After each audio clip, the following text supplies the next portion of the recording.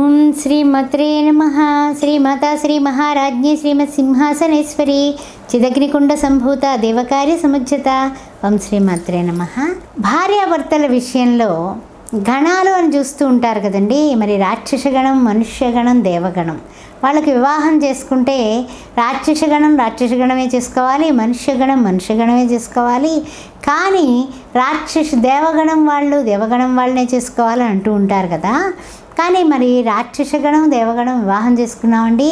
కానీ రోజు మా ఆవిడ నేను కూడా కొట్టుకుంటూనే ఉంటామండి తిట్టుకుంటూనే ఉంటామండి అన్నారు ఒక ఆయన. ఏమండి ఏమిటండి అంటే ఇదండి సంగతి అన్నాడు ఆయన. అంట్లోకి నాకు నిజంగా కూడా చాలా నవ్వొచ్చింది. అదేమిటండి? ఇంత పెద్ద వయసు వచ్చాక డెబ్బై ఏళ్ళు ఎనభై ఏళ్ళు వచ్చేసాయి భార్యాభర్తలు ఇద్దరు వచ్చారు కానీ ఏమని లేదండి? ఆయన ఏం చెప్పినా సరే ఆయన వినడు అని ఆవిడ ఉంటుంది ఆవిడ ఆయన అంటాడు కదా ఈవిడిది ఈవిడది రాక్షస గణానికి సంబంధించిన నక్షత్రం అండి. ఆవిడ గుణాలు ఎలా పోతాయి? అనేమో ఈయన అంటాడు. ఈలాగా వీళ్ళిద్దరూ ముచ్చట పెడుతుల్లోకి దీని మీద తప్పనిసరిగా ఒక వీడియో చేయాలనిపించింది. అందుకని మీతో చెప్తున్నాను నేను. ఈ గణదోషం ఏమవుతుందంటే వైవాహిక జీవితంలో భార్యాభర్తల మధ్య అంతర్గతంగా కొంచెం పరపచ్చాలు తెప్పిస్తుంది. అందువల్ల గణాలు కూడా పడాలి అనడానికి అర్థం అదే.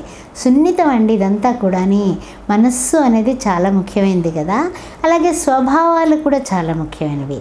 భావాలు కూడా చాలా ముఖ్యమైనవి. ఈ భావాలకి అతీతులం మానవులం కాదు. మనం భావాలకి ఎప్పుడు కూడా కట్టుబడిపోతాం. మనస్సేకం వచస్సేకం కర్మణ్యేకం మహాత్మనం అంటాం కదా. అంటే మనస్సులో ఒక మాట నోటితో ఒక మాట మాట్లాడి మనసులో ఒక ఆలోచన ఆలోచించి ఆ తర్వాత మనం చేసే పని వేరే చేస్తున్నాం అనుకోండి ఎవ్వరూ కూడా మనల్ని మెచ్చుకోరు. భార్య కానీ భర్త కానీ ఎవరైనా సరే. కానీ మనం నిజంగా నిజాయితీగా మనం మాట్లాడుతున్నాం అనుకోండి వాళ్ళని నిజంగా ప్రేమిస్తున్నాం అనుకోండి అప్పుడు మనకి జీవితంలో ఎదుగుదల తప్ప మనకి తిరోగతి ఉండదు. పురోగతే ఉంటుంది. ఆ పురోగతి ఉండాలని ప్రతి భార్య ప్రతి భర్త కోరుకుంటారు కదా?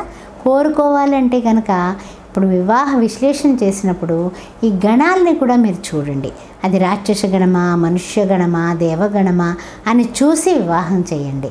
దాని వలన కూడా మీకు అన్ని విధాలా కూడా చాలా చక్కగా మీరు ముందుకు వెళ్ళడానికి కారకత్వం అవుతుంది. ఆనందంగా ఉంటారండి. వంద సంవత్సరాల జీవితం.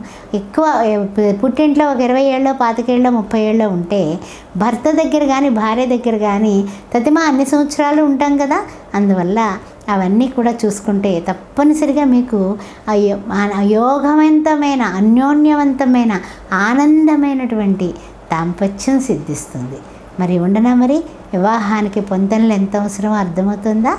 ఓం శ్రీ మాత్రే నమ ఆస్ట్రో భాగ్యలక్ష్మి అనే ఈ ఛానల్ని షేర్ చేయండి లైక్ చేయండి తర్వాత కామెంట్ కూడా పెట్టండి సబ్స్క్రైబ్ ఈ పాటికి చేసుకునే ఉంటారు. చేయకపోతే వెంటనే చేయండి. అంతేకాకుండా జాతకాలు పొంతనలు వాటి నిమిత్తం మీరు ఏ విధంగా అయితే డౌట్స్ ఉన్నాయో అవన్నీ కూడా మీరు వాట్సాప్ నెంబర్ ఉంది కదా కింద nine eight double six zero triple four three nine.